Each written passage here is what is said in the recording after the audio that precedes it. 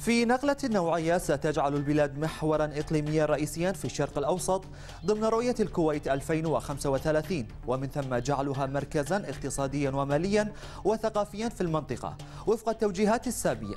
المغردون تداولوا مقطعا توضيحيا لمطار الكويت الجديد تي 2 والذي يهدف أن يكون أكبر مطار في العالم يحصل على شهادة ال دي الذهبية للمباني التي تحقق مستوى الريادة في مجالات متعددة منها توفير الطاقة وإعادة التدوير للمياه والهواء وتكنولوجيا إدارة النفايات.